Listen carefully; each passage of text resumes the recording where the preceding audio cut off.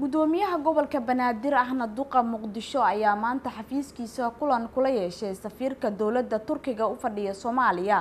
Waxaana ay ka wada hadleen sidii loo dardargelin lahaa mashaariicda horumarneed ee turkiga uu ka wado caasimada soomaaliya.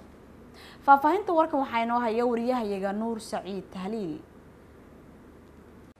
Gudoomiyaha gobolka banaadir ahna duqa magaalada muqdisho mudane cabdiraxmaan cumar cismaan injineeriso ayaa xafiiskiisa kulan gaara kula qaatay. Safiirka turkiga u fadhiya soomaaliya master olgan beker waxaana kulankani goobjoog ka ahaa gudoomiye ku-xigeenka maamulka iyo maaliyadda ee gobolka banaadir mudane xuseen maxamed nuur iyo madax kale. Mas'uuliyiintan ayaa ka wada hadlay sidii loo fulin lahaa mashaariic lagu horumarinayo bilicda caasimadda iyo dib u magaalada si loo soo celiyo heybadii ay barisimaadkii lahayd muqdisho islamarkaana ay ula tartanto magaalooyinka dhigeeda ah maadaama gobolka banaadir uu ka soo kabanayo dhowr iyo labaatankii sane ee uu dalka burbursanaa. Duqa magaalada muqdisho mudane injineeriso ayaa uga mahad celiyey dowladda turkiga iyo shacabkeeda doorkii lamilabaanka ahaa oo ay ka geysteen dib u dhiska caasimadda iyo howlihii samafalka ahaa oo ay ka fuliyeen dalka.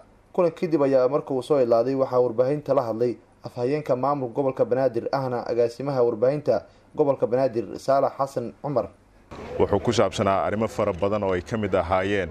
In ugu horeyn uu safiirka dalka turkiga ugu mahad celiyey maamulka gobolka banaadir gaar ahaan gudoomiyaha gobolka xafladii quruxda badneed ee dhowaan xaruntan gobolka loogu sameeyey ee dowladda turkiga hay'adaheeda kala gedisan ee ka howlgala magaalada muqdisho sidoo kale waxa uu safiirka turkiga ugu mahad celiyey maamulka gobolka banaadir iyo dhammaan shacabka soomaaliyeedba taageeradii ay dhowaan u sameeyeen guushii uu madaxweyne ordogan ka gaaray doorashadii ka dhacday dalka turkiga. Waxyaabaha kale ee laga wada hadlay waxaa ka mid ahaa sidii loo xoojin lahaa xiriirka ka dhexeeya labada dowladood iyo weliba iyadoo ay jirto dhowaan in dowladda turkiga aqbashay sidii loo soo celin lahaa. Heshiis horey u jiray oo ku saabsanaa in la mataaneeyo magaalada muqdisho iyo magaalada ankara ee dalka turkiga. Nuur saciid taaliil warbaahinta qaranka soomaaliyeed magaalada muqdisho